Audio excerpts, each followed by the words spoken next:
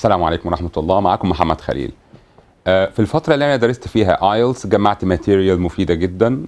في منها أنا اللي عاملها في منهم أنا جمعتهم. وحطيت كل دوت في كتاب عندي IELTS Expert. في ناس كتير قالت لي إن هو الكتاب ده الحمد لله ساعدهم. ولكن مهم جدا نعرف محتوى الكتاب عبارة عن إيه. أولا الكتاب حوالي 230 صفحة. الكتاب يمكن mainly ألوان عشان يبقى خلي ال material نفسها كويسة. وانتوا عارفين IELTS نفسه في حد ذاته شوية مادة جافة.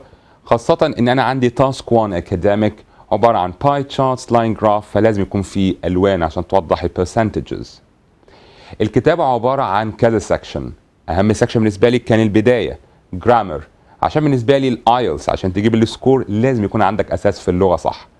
فأنا كاتب في الجزء الأولاني خالص إيه أكتر الأخطاء ال language تاخد بالك منها.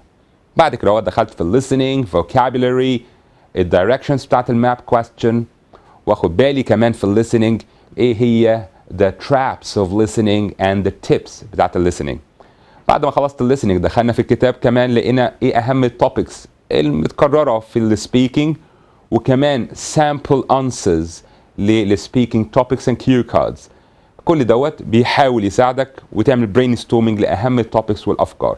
بعد ما نخلص ال speaking بندخل في ال writing وخاصة في ال writing أنا عندي منقسم ل academic and general. يعني الكتاب بيخاطب with general. Task 1 academic. Task 1 general as well.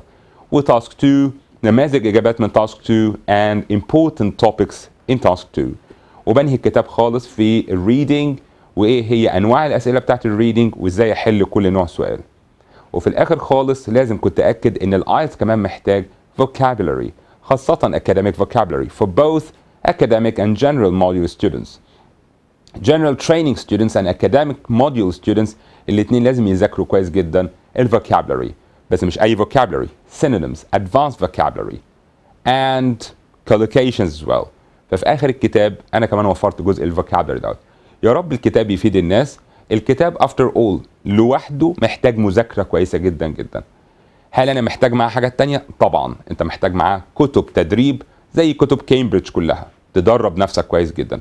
هل الكتاب مبني على فكرة ال self study ولا هو مجرد workbook لا طبعا هو مبني على فكرة ال self study أقدر أذاكر كويس جدا مع الكتاب ولكن الأساس تكون لغتك صح.